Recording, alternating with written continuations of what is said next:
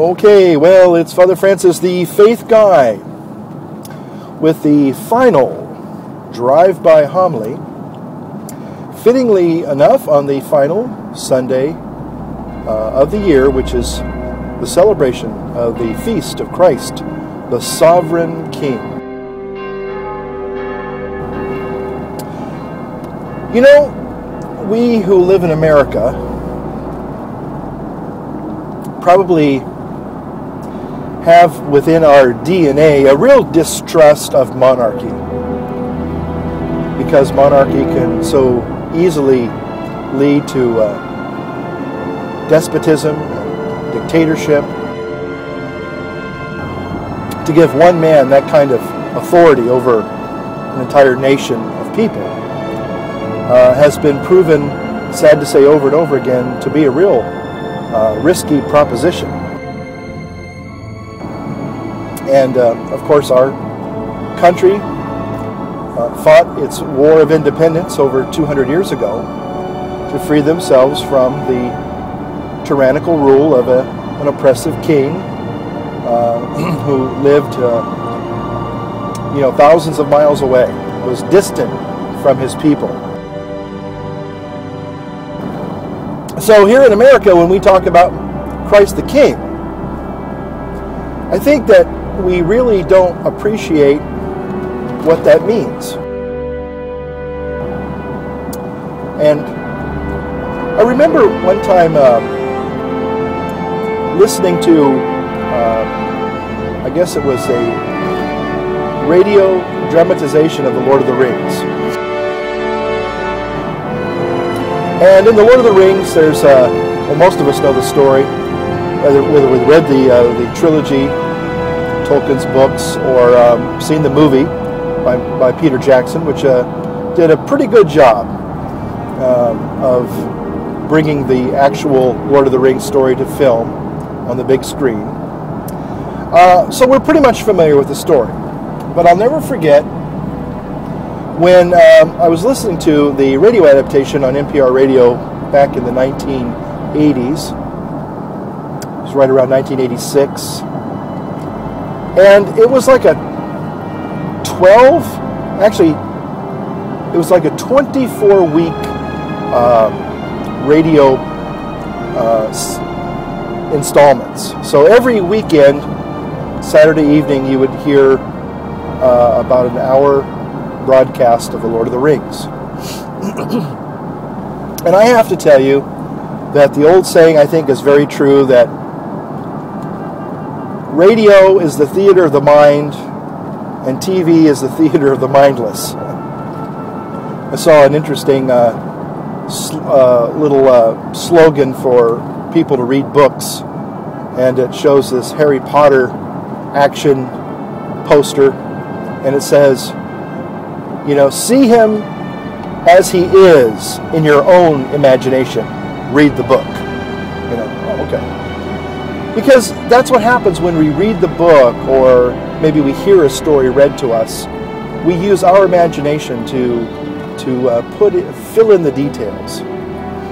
And we, we, we basically, when we, you know, when we read, we, we do that. We, we usually color our heroes with the, with the most brilliant colors or our villains in the darkest hues.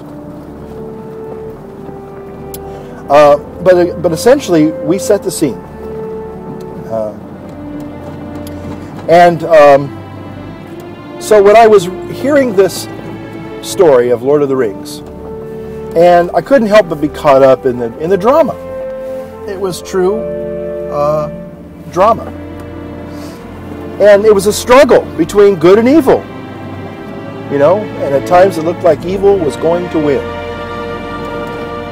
And one of the more dramatic uh, moments in Lord of the Rings is when the king, who is Aragorn, son of Arathorn, he's a reluctant king. He's a, he's a leader, and he's a good uh, and noble man. And, but finally, he begins to realize that yes, he in fact is the king. And one of the powerful moments in The Lord of the Rings is right after the Battle of uh, Pelennor Fields, is one of the characters is, is wounded, mortally wounded. And uh, Aragorn is entrusted to bring him back to life, to restore him to health. and they, find some herbs, and he says, a, a I guess, a magic or uh, some kind of incantation over this thing. Anyway, but the bottom line is he raises this person from the dead. And as he does that, it becomes apparent to himself and to everyone that he is the rightful king. And there's there's a sense of wow. You know, when you when I remember listening to that, because this was a good king. This was a uh, a just king. This was a, a king who cared deeply about his people. He wasn't, uh, you know, a an absentee landlord type of a leader or a governor or a monarch, but he was somebody who, in many ways, fought for his own people. And he truly was somebody who was a just and good and noble person. And so when he is a king, when he is crowned king, there is this really great sense of jubilation that takes place uh, within Middle Earth and uh, all the other neighboring uh, lands of Middle Earth. And it's like it's like this wonderful light of goodness now descends, this great era of hope and, and uh, and justice comes forth.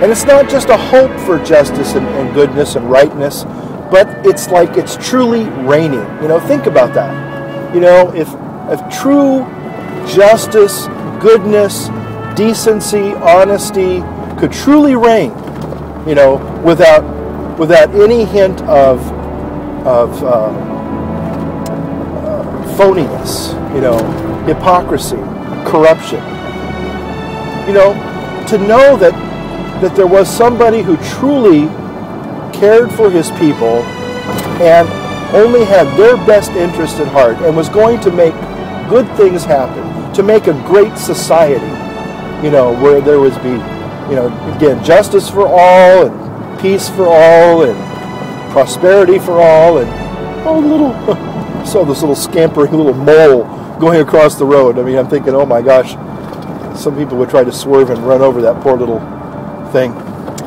But again, when I heard that being broadcast on the radio, there was a sense of,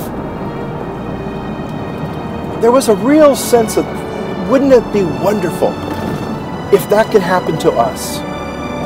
Now, I know there are a lot of people who distrust authority in a real strong way, and, and they may have, and they have rights to. You know, maybe some people have been truly uh, abused by quote unquote authority figures or the government. You know, sometimes people, you know, feel like they've been abused by the church. Maybe individuals in the church, but maybe not the church per se. But maybe some people do feel that, you know, the church has abused them. But when I think of Christ, the sovereign king, I, I think of that kind of feeling when I first, you know, thought about Aragorn uh, of becoming the king of Middle Earth, and that this was this was the best thing that could happen to uh, people anywhere and everywhere. And that's what I envision, you know, that someday, someday there will be a coronation and Christ will be made king, and every knee will bow and every tongue will proclaim him King of Kings and Lord of Lords. And someday, we are told that that is going to happen.